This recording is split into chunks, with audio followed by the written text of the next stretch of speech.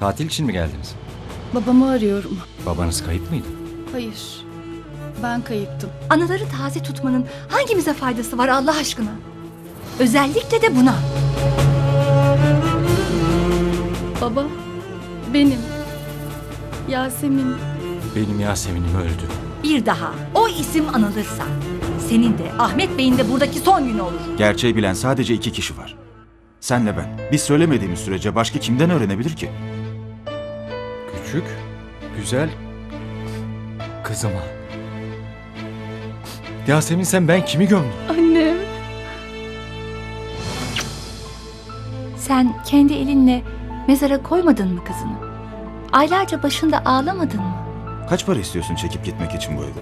Kayıp Yıllar televizyonda ilk kez Cuma akşamı Kanal 7'de.